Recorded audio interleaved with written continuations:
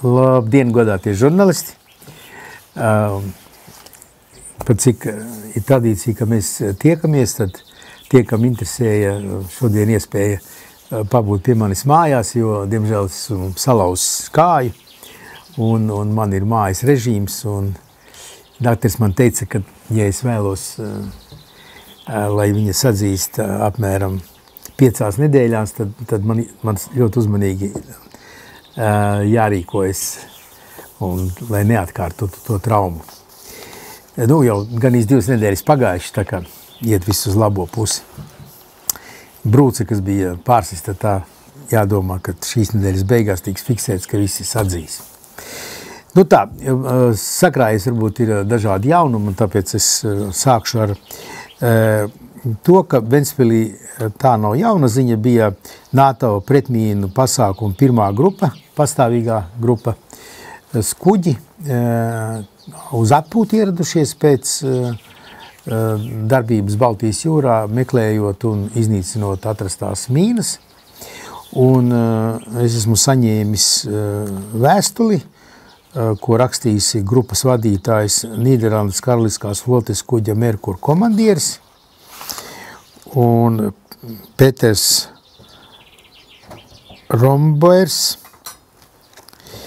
un viņš šai vēstulē norāda, ka vietējās varas iestāžu pārstāvis sniedza visu nepieciešamo palīdzību, un es vēlos, es citēju, pateikties visiem, kas bija iesaistījuši šīs vizītes organizēšanā, mūsu uzturēšanās Ventspilī bija ļoti patīkama un ceru, ka tuvākajā nākotnē man atkal radīsies iespēja pilsētu apmeklēt. Jāsaka, ka um, kuģi atradās, un, protams, attiecīgi apkalpes atradās Ventspilī divas ar pus dienas, un visā šai laikā nebija nekādu incidentu, kuros būtu iesaistīti NATO jūrnieki. Viņi pilsētā bija civildrēbēs, līdz ar to, ja viņi neko nesastrādā, tad viņi ir tādi paši kā visi pārējie. Par ko ir arī liels prieks. Pirms vizītes bija jūtams tāda, nu, rūpes no, no, no NATO uh, vadības puses, lai NATO jūrnieki Ventspilī uzvestos tā, ka viņi netiek manīti, un viņi arī tā arī uzvedās, par ko ir liels prieks, un es domāju, ka tas sliktais piemērs, kāds bija pirms četriem gadiem, nu, paliks vēsturē un vairāk nekad arī neatkārtosies. Jo mūsu vēlme ir tikai viena, ka tiem, kam ir militārs spēks rokās, tiem jārāda civilajiem piemērs, kā uzvesties ne tikai pildot dienesta pienākumus, bet arī eh, sadzīvē, esot brīvsolī, jo vairāk ārzemju ostā.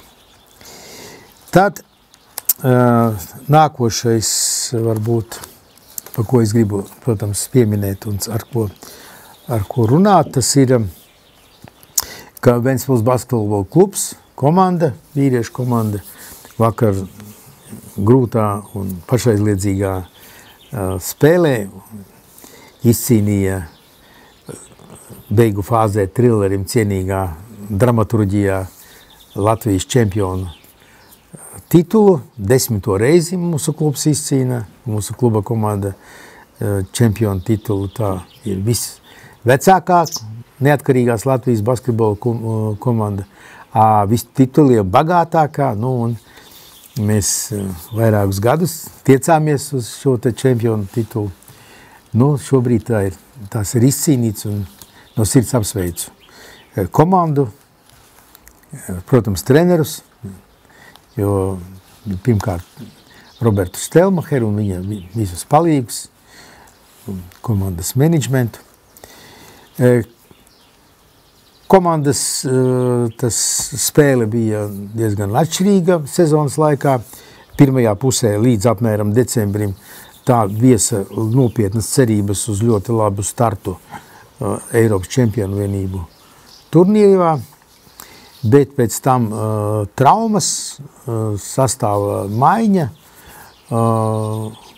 būtiski izsita no ritma komandu un faktiski komanda spēja atgūties tikai play-off beigu fāzē. Beigu fāzē kad uh, parādījās jau laba kolektīva spēle, varbūt ne, ne, ne visas 40 minūtes, bet nu, tomēr, un, un rezultātā arī ir čempiona uh, tituls.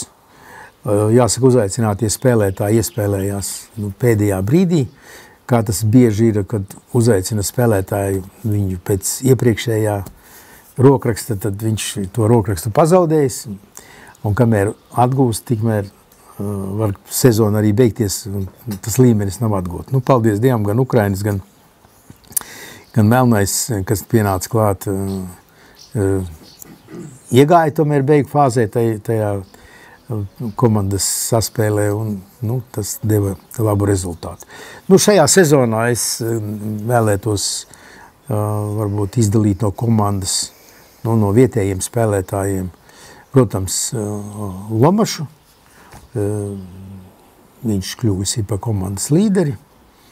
Es domāju, ka viņam būtu liederīgi vēl vienu sezonu nospēlēt Ventspils komandā, lai iegūtu līderam cienīgu stabilitāti – lai iemācītos visu laiku domāt un pēc tam darīt.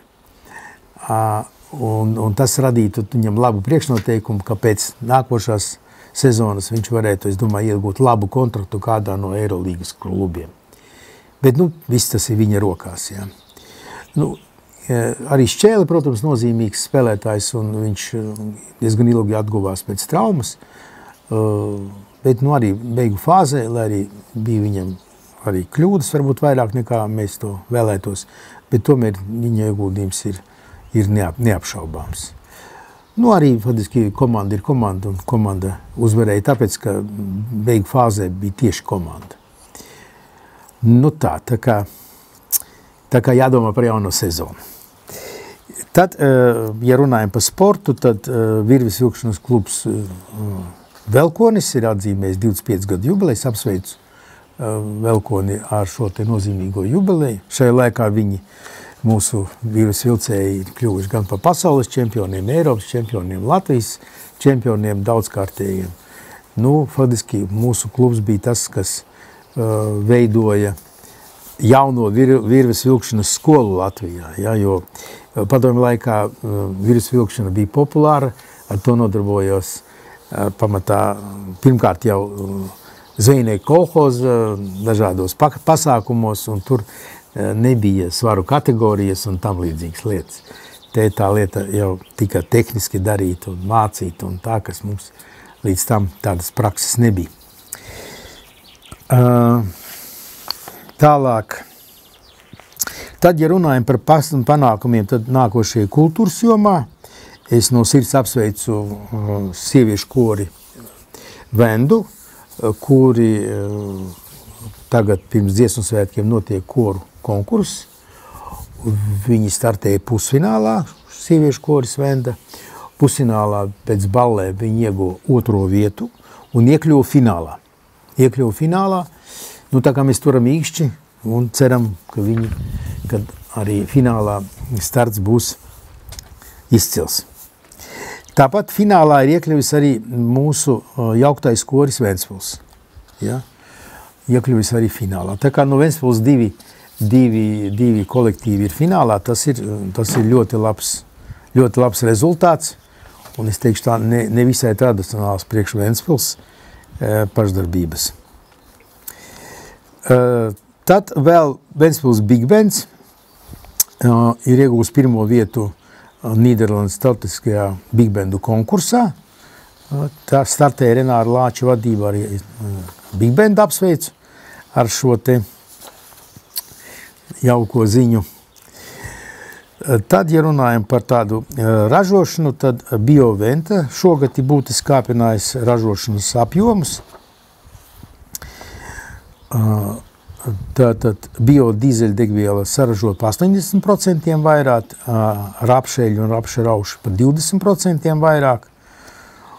Nu, un, un, un jāsaka, ka, lai arī bioventā strādā 57 cilvēki, to, ņemot vērā, ka uh, raps tiek audzēts, piegādāts, transportēts, uzlabāts, kopā tas nodrošina darba ap 3000 cilvēkiem. Tā, tā ir laba ziņa gan ne tikai pašai bioventai, Ventspils pašvaldībai, Ventspils pilsētai, bet arī Latvijai. Tā.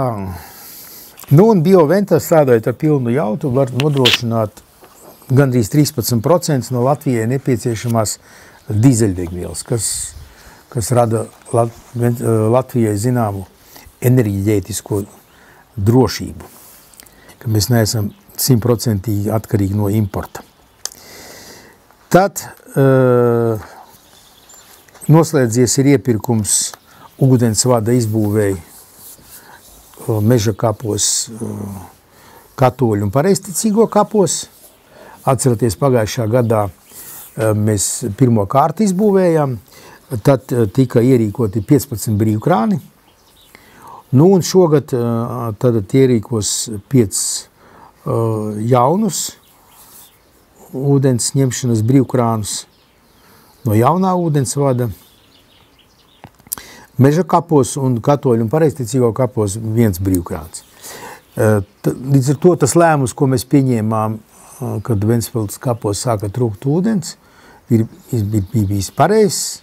Arī šogad, tagad maijā faktiski bez lietus pilnībā, un ja nebūtu ierīkotas ūdensvads un brīvkrāni, tad kapos nebūtu ūdens vienkārši.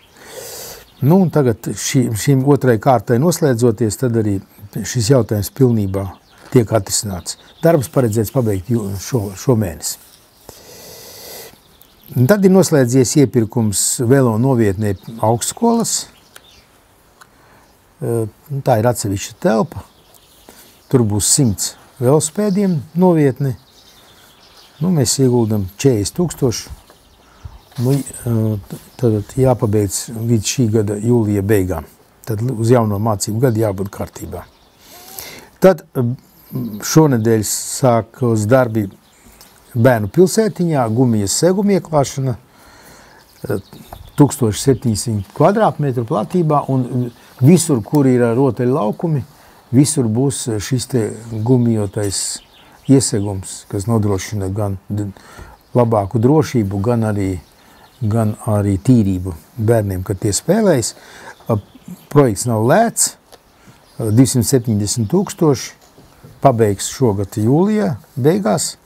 Nu, nākošais gads mēs to izdarīsim pārventā, fantāzijā, un līdz ar to pilnībā vairs nekur smilts nebūs.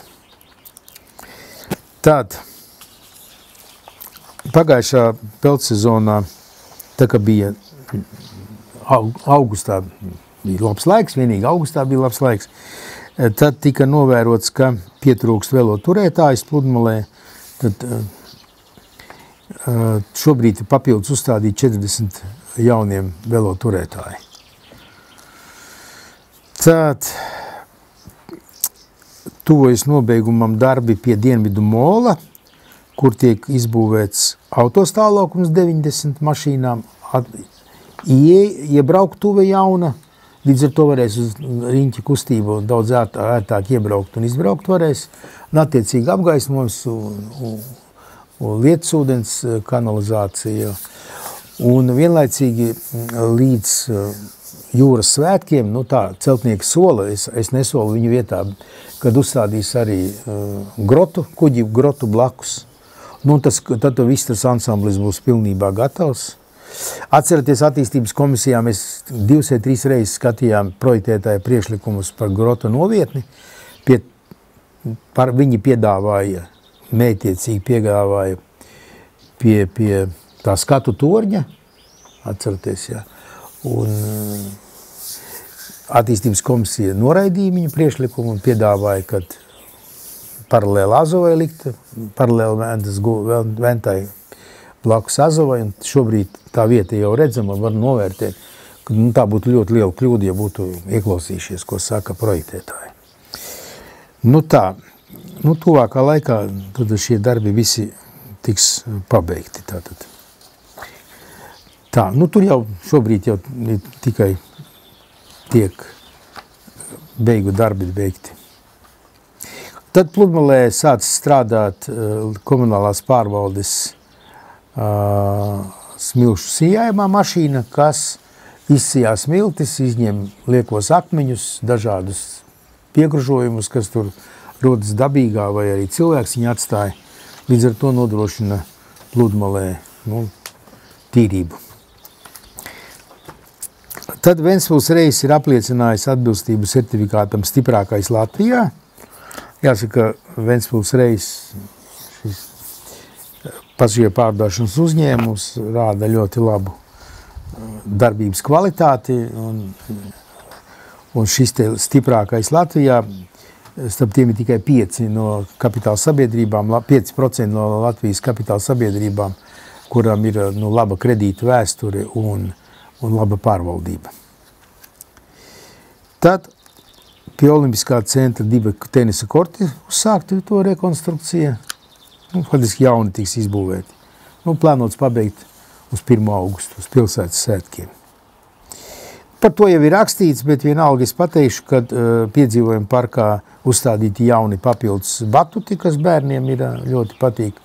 Uh, vēlos uzsvērt, ka tie batuti nav tādi, kādi te tirgojas pa labi, pa kreisi un, un arī dažādi tiek privāti izīrēti. Tie ir uh, speciālie droši ļoti batuti, jo tā virsma, uz kuras lēkā, un blakus ir drošības virsma. Tur nav nekāds ciets, tur nevar neko salauzt. Nu, ja mums bija agrāk bija četri, četras virsmas, pa kurām var lēt, tagad 16. Līdz ar to eh, tas ir pieprasīts un, un arī tad ir, ir iespēja lielākam skaitam bērnu izmantot šo, šo te patīkumu nodarbi. Nu, ir uzsācis jūnija mēnesī nodarbinātības bērnu jauniešu. Jūnijā darbu sākuši ir 102 Ventspils bērni un jaunieši. Darbu piedāvājuši 24 darba devēji. Lielākie darba devēji, par ko ir liels paldies. Olimpiskais centrs Ventspils 34 darba vietas, Sija Daga 16, Diāna 10 un Ventspils labīkārtošs kombināts 10. Liels paldies par to. Tad līdz 29. jūnijam sociālā dienesta kasēs var saņemt pabalstus uh, absolventi, kas beiguši 9. un 12. klasi no trūcīgām vai mazvildošanātām ģimenēm. Tādi beidz 18 bērni. Tā aktīvi piesakās bērni un skolēni, pareizāk sakot, vasaras IT nometnē. Šobrīd pieteikuši ir 450 bērni, un jūnijā šobrīd apmeklē 200 bērni. 200 bērni digitālajā centrā. Kopā paredzētas ir četras sesijas. Tātad programmas ietvaros Ventspils mazulim draudzīga pilsēta.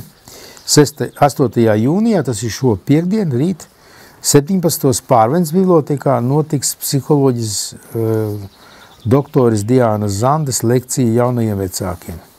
Kā saglabāt labas partneru attiecības ģimenē, kurā aug bērni. Tāda tēma. Nu, mums ir finansējums trijām lekcijām viņas šogad. Nu, tie ir vienmēr tās ir kupli apmeklētas. Um, es aicinātu vienu lekciju obligāti veltīt. Es nezinu, vai uh, Zandes kundze lasa vai nē. Uh, E, par pareizu bērnu barošanu no agras, no agras mazotnes. Nē, čipši, nē, kečups, nē. Daudz kam nē.